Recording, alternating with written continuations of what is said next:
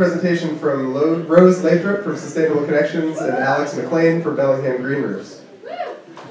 Rose is Sustainable Connections Green Building and Smart Growth Program Manager. She is a graduate from Huxley College, a LEED accredited professional, and a certified sustainable building advisor.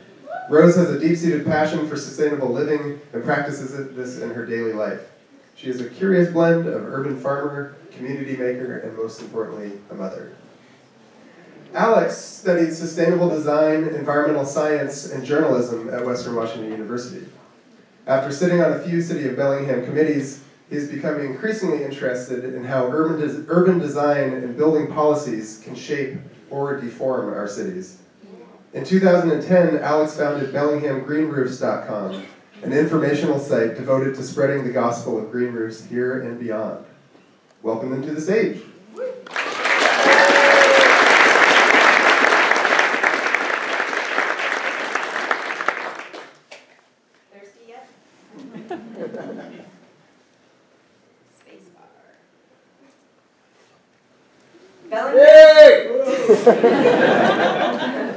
Bellingham's future is one where its citizens participate in radical expressions, creating this very unique place. A future where citizen engagement goes beyond chiming in during the public process, but rather actually doing what we want to see happen. Bellingham's future is vibrant and creative. Burning Man is a city that is created each year by 68,000 people for just one week. This interactive city isn't defined by its governing body, but rather its community that comes armed, ready and willing to participate in radical self-expression and civic responsibility. There is a term popular in Burning Man participants. We call it do-ocracy. This is if you want something done, do it. It is not the responsibility of elected or selected officials, but as a rule, you must be excellent to each other when doing so. This is what makes uh, Burning Man engaging and completely indescribable. This concept is moving beyond the desert Nevada. People are beginning to embrace do-ocracy and participate in what is called placemaking. This refers to temporary, cheap, and usually grassroots interventions that are designed to improve the city life on a block-by-block, street-by-street basis. Yeah. These efforts give concerned citizens, creative thinkers, ways to reclaim built environments, encourage pedestrian traffic and street life, promote economic investment without being bogged down by big politics and strangled budgets. These project, projects has relatively low risk with potential for long-term change. Sometimes sanctioned, sometimes not. These actions offer deliberate, phased approach to instigating change. They offer local ideas for local planning challenges. This enormous chair disappeared. No one asked for it, no one approved it, no one critiqued it.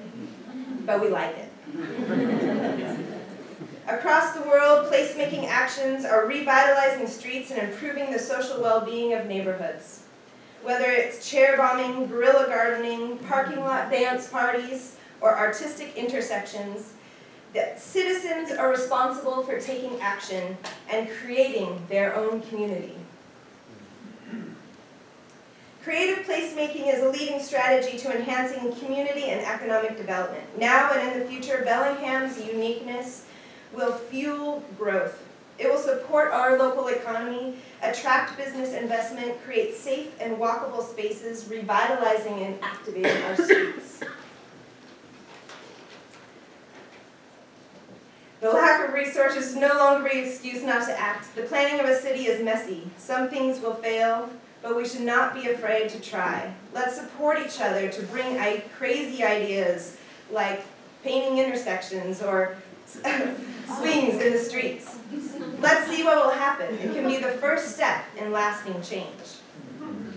True transformative change will need to work in conjunction with long-term planning efforts.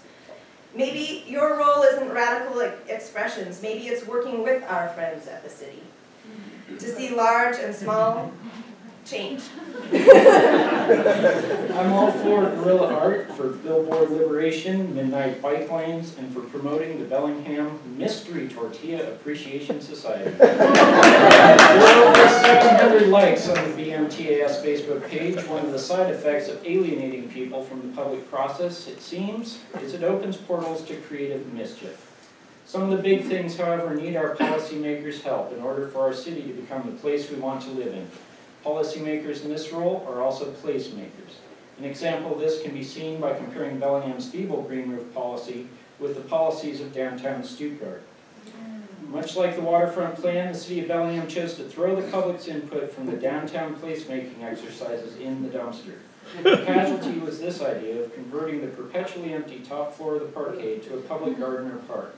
People love the idea, but will get the bathrooms remodeled instead. Stodgy bureaucracy can also be seen in the horribly disfigured bike racks that have our downtown for twenty-five years. When I proposed this simple remodel to the city, they offered me a less than excellent mass of nonsensical policy gibberish to subdue my nefarious scheme. As repulsed as I sometimes am by city shenanigans, I also know their process can accomplish great things. I know that welcoming six million Canadian tourists with a sign like this will be done through grants, through tedious meetings, and through our elected officials doing what Joe or Jane resident cannot do on their own. Still, part of what that Rose described should include citizens hacking into the hardwired fear that guides local government. Pike Place Market, New York's world-famous High Line, and our local granary building are examples of big, cool things that only happen because of involved and frisky. So when city council acts as though the tragedy playing out on our waterfront were occurring in some distant land of implacable woes, we need to remind them otherwise. Don't tear these towers down. Nut up and tax the developers one percent for public art, as other cities have done.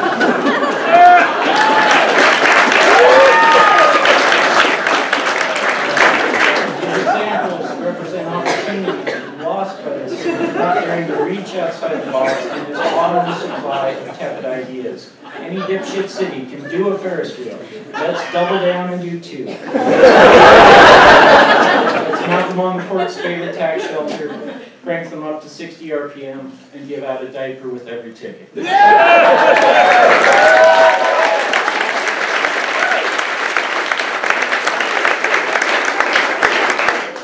Bellingham's future is vibrant, it's creative, and you people are doing it. So what are you going to do? We are asking you to take this call to action. We are calling to you to just fucking do it.